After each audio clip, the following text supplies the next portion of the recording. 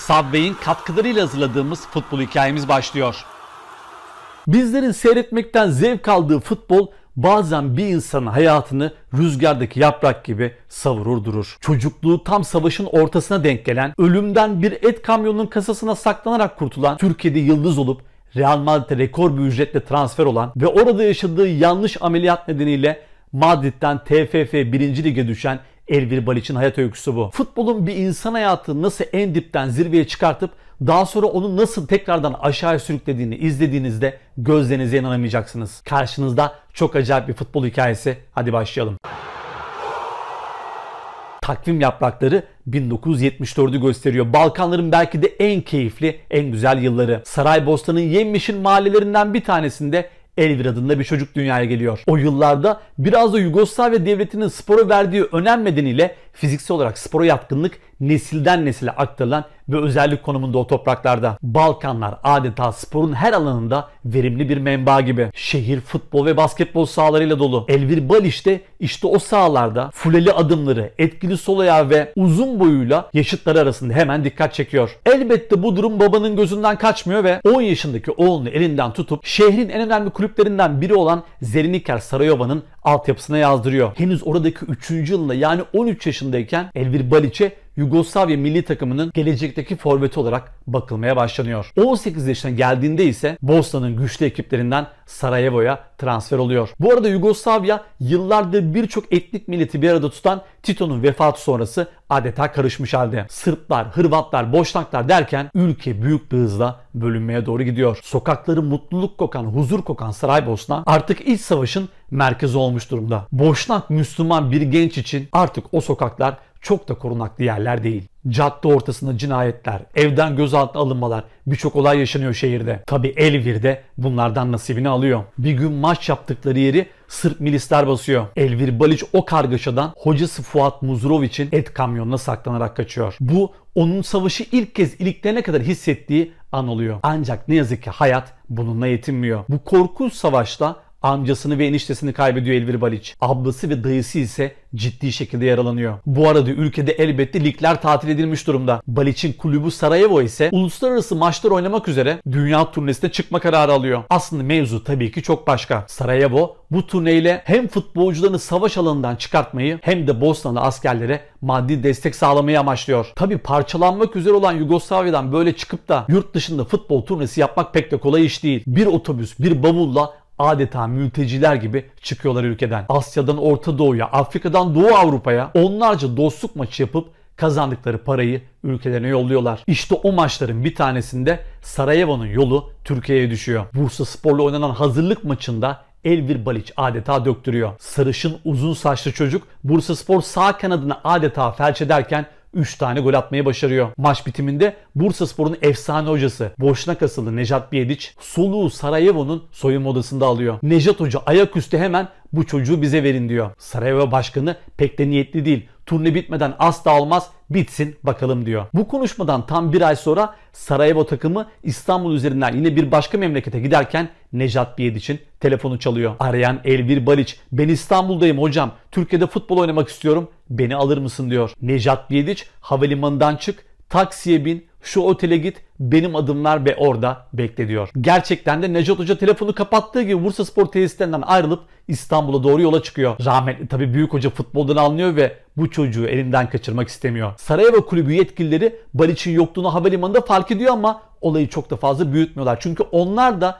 Baliç'in Türkiye'de top oynamak istediğini biliyor. Hemen birkaç telefon görüşmesi yapılıyor ve 150 bin dolara Elvir Baliç'in bon servisini Bursa Spor'a veriyorlar. Baliç yeşil beyazlı formayla kariyerine inanılmaz bir başlangıç yapıyor. O yılların önemli organizasyonlarından Intertoto Kupası'nda Bursa Spor yarı finali görürken Elvir Baliş de inanılmaz bir performans sergiliyor. Tüm Türkiye'nin açık kanaldan merakla izlediği o maçlarda genç Boşnak adeta futbol resitali veriyor. Elbette bu sadece başlangıç. Elvir Baliç 3 sezon boyunca Bursa Sporu adeta sırtında taşıyor. 96 maçta 43 gol 9 asist yapıyor boşluk oyuncu. Üstelik bunları öyle forvet olarak falan yapmıyor. Hoca onu sol önde oynatıyor ve buna rağmen kanat forvet olarak çok acayip bir istatistiğe imza atıyor. Tabi bu performans sonrası Elvir Baliç şehirde adeta bir idol haline geliyor. Bursa'da o yıllarda Futbolla ilgilenen her gencin odasında Elvir Baliç'in posteri vardı. Berberler Baliç modeli saçtan başka tıraş yapmıyordu. Ve genç kızların aşk mektupları Bursa Spor tesislerinin posta kutusunu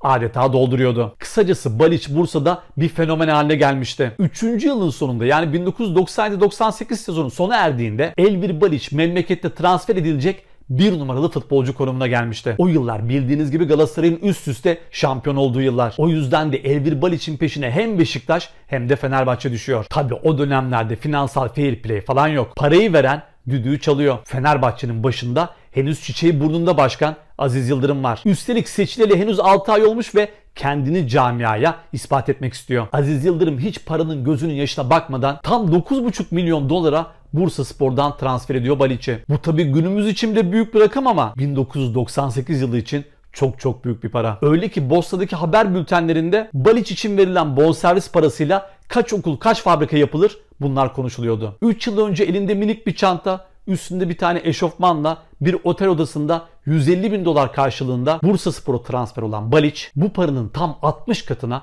Fenerbahçe'nin yolunu tutuyordu. Şimdi aslında Sarı Lacivertlerin tarihinde bir sürü pahalı yıldız transfer vardır ve aslında bunların birçoğu da başarılı olmuştur. Anderson'u, Rapaiç'i, Ortega'sı, Amerika'sı hepsi şaşalı büyük transferlerdir. Ancak Elvir Baliç bunların tamamından daha büyük bir performans sergileyecekti Fenerbahçe'de. Boşnak oyuncu ilk sezonunda 34 maçta forma giyip 19 gol atıp 15'te asist yapmıştı. O uzun saçları, öldürücü deparları, durdurulmaz şutlarıyla artık Kadıköy'ün fenomeni olmuştu. Sezon bittiğinde herkes Elvir Baliç'in performansını konuşuyordu. Ünlü, şöhreti Türkiye sınırlarını aşmıştı çünkü Avrupa maçlarında da kendisini göstermişti. Bosna Hersek milli takımıyla Avrupa Şampiyonası grup elemelerinde tam 6 gol atmıştı. Fenerbahçe formasıyla da Göteborg ve Parma maçlarına çıkmış. Bu maçlarda 2 gol, 2 de asist kaydetmişti. Baliç artık sadece Türkiye'de değil Avrupa'da da tanınmaya başlamıştı. O yıllarda Fenerbahçe Başkanı Aziz Yıldırım altın yumurtlayan tavuğu buldum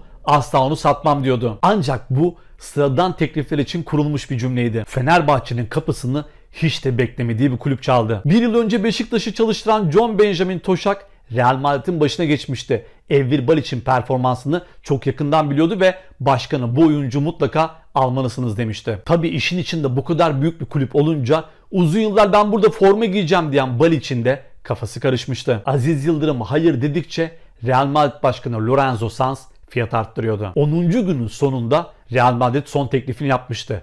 Rakam 21 milyon euroydu. Daha 8 ay önce 9 milyon dolara aldıkları adama 21 milyon euro değer biçmişlerdi. Bu tabii rekor bir ücretti ama Aziz Yıldırım bu rakama bile çok sıcak bakmıyordu. Ancak bu sefer devreye Elvir Baliç girdi. Bir daha ne Fenerbahçe ne de ben bu parayı kazanabiliriz beni bırak başkanım diyordu. Aziz Yıldırım istemeye istemeye bu transfere razı oldu. Bu Türk futbolu açısından bir ilkti. Tarihte ilk kez bir Süper Lig oyuncusuna böyle bir para verilmişti. Elvir Baliş de Türk pasaportu taşıyıp Real Madrid'de forma giyecek ilk oyuncu olacaktı. Ölümden et kamyonuna saklanarak kurtulan cılız çocuk dünyanın en büyük kulüplerinden bir tanesine gitmişti. Anlaşma gereği Real Madrid Kadıköy'de Fenerbahçe ile bir hazırlık maçı yapacaktı. Bu Elvir Baliç'in Real Madrid forması giydiği ilk maçtı ve ilk golünde Kadıköy'de Fenerbahçe atacaktı. Golden sonra tabii ki sevinmemiş ama Kadıköy'de büyük bir alkış almıştı. Bal için Real Madrid günleri gayet iyi başlamıştı. Antrenmanlarda döktürüyordu. Dünyanın en önemli orta sahalarından biri olan Seedorf bir idman sonrası onun yanına gelmiş senin kadar yeteneklisini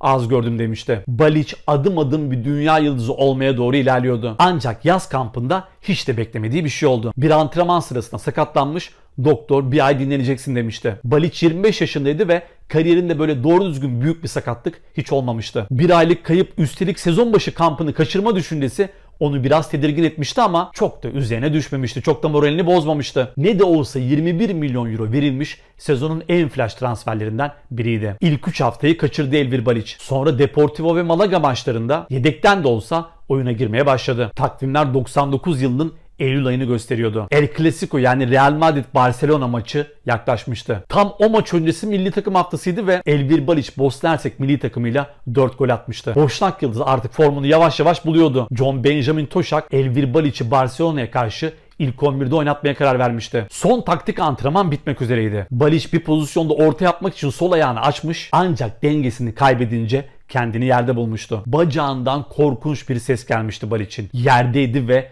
hüngür hüngür ağlıyordu. Hieros'u, Amerika'sı, McManaman'ı, Raul'u hepsi onun başındaydı. Balic El Clasico'yu kaçırdığı için ağlıyordu ama kaybettiği şey sadece büyük bir maç değildi. Balic orada kariyerini kaybetmişti. Savaşlardan, bombalardan kaçan boşnak çocuk o korkunç sakatlıktan kaçamayacaktı. Çapraz bağları kopmuştu Elvir için. Hastaneye yattığında her şeye rağmen moralini yüksek tutmaya çalışıyordu. Real Madrid'in doktoru bir klasik yöntem var bir de yeni uygulanan kadavra yöntemi var. Bacağına kadavradan bir parça eklersek sahalara daha hızlı dönersin diye tahmin ediyoruz demişti. Aslında Balic hiçbir şey anlamamıştı. Ama ne de olsa karşısındaki Real Madrid'in doktoruydu. En çabuk sahaya nasıl döneceksem onu tercih edin dedi ve ameliyata girdi Elvir Balic. O operasyon 26 yaşındaki Balic için sonun başlangıcı olmuştu. Mart ayında sahalara dönmüş, son 9 maçta çok az forma giyebilmiş, bunlarda da sadece bir gol atabilmişti. Real Madrid medyası çok acımasızdı. 8 ay önce rüzgarın oğlu dedikleri Elvir Balic'i Madrid tarihinin en kötü transferi ilan etmişlerdi. Orası çok büyük bir kulüptü ve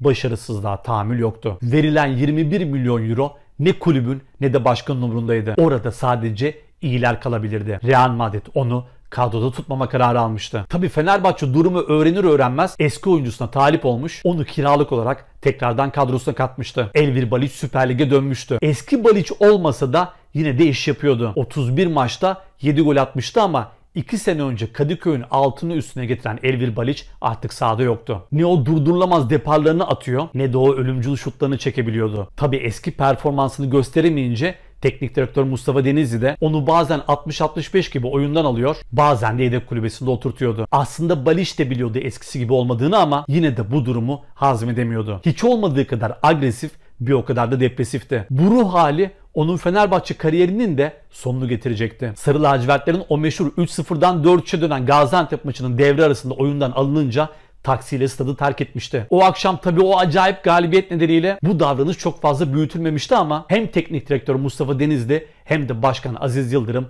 onun üzerini çizmişti. Fenerbahçe o sezonu şampiyon bitirse de Elvir Baliş'le o disiplinsiz davranışı nedeniyle devam etmeme kararı almıştı. Boşnak oyuncu hala Real Madrid'in topçusuydu ve sezon sonunda İspanya'ya döndü. Madrid bu sefer de onu Rayo Vallecano'ya kiralamıştı. Ancak düşüş başlamıştı bir kere. Orada da sadece 11 maçta forma giyip bir gol atabilmişti. 3 sezon önce 21 milyon euro verilen Elvir Balic Real Madrid için bedelsiz futbolcular listesinin sıradan bir oyuncusu haline gelmişti. Üstelik dediği Fenerbahçe'de artık ona talip değildi. Tam o yıllarda sürpriz bir şekilde Galatasaray Elvir Balic'in kapısını çaldı. Fatih Terim onu istiyordu. Kendimi tekrardan ispat edeceğim dedi ve Galatasaray'a imza attı. Tabi ezeli rakipler arasındaki her transfer gibi bu imza da büyük bir tepki çekmişti. Balic her tarafta manşetti. Fenerbahçe'de oynarken kefen giyerim Galatasaray forması giymem dediği iddia ediliyordu. Oysa öyle bir cümlesi asla olmamıştı. Ona göre bu dedikoduyu onu sevmeyen Fenerbahçeli bir gazeteci çıkarmıştı. Neyse Galatasaray'da da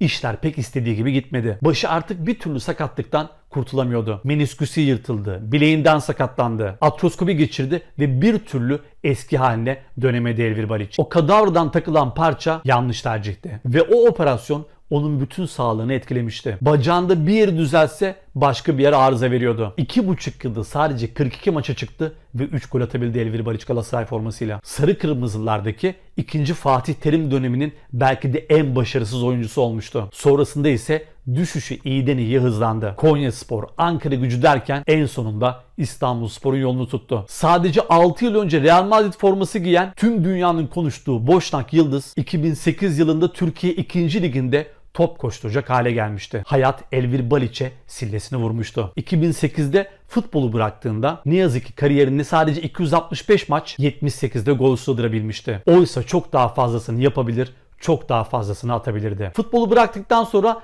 hocalık denemeleri oldu Elvir Balic'in. Bosna milli takımında yardımcı hocalık yaptı ama bir türlü bir numara olamadı. Karabüyün başına geçti olmadı. Alanya'da Akisar'da yardımcı hocalık yaptı yine olmadı. 1999 Eylül ayı onun kariyerini, özel hayatını, futbola ait her şeyini adeta paramparça etmiş. Bir daha hiçbir şey istediği gibi gitmemişti. Buna rağmen Elvir Balic başını hep dik tuttu. İstanbul Spor'daki takım arkadaşları sen Zidane'la aynı takımdaydın. Şimdi bu sahada bizle antrenman yapıyorsun, ne hissediyorsun diye sormuşlardı. Ben savaşı, açlığı, ölümü görüp geldim. O yüzden bunlar bana koymaz demişti. Gerçekten de yaşadığı korkunç kariyer düşüşüne rağmen hiç bırakmadı hayatı Elvir Baliç. Savaşın dehşetini yaşayan her insan gibi her zaman şükretti ve yaşadığı, gördüğü her şeyi kabullendi. O bugün futbolun içinde olmasa da kimi zaman Bursa Spor'un efsanesi, kimi zaman Kadıköy'ün sarı fırtınası, kimi zaman da ligimizden Real Madrid'e giden ilk oyuncu olarak dünya döndükçe futbol severlerin hatırasında yer almaya devam edecek. Futbol hikayemizin sonuna geldik. Beğendiyseniz likelayın. Kanalıma abone olmayı, bildirimleri açmayı unutmayın. Görüşmek üzere.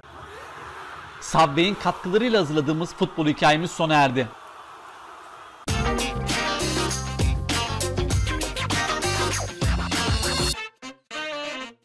Yanımızda Fransa teknik direktörü Didier Deschamps var. Vous avez bien joué, vous avez beaucoup de positions.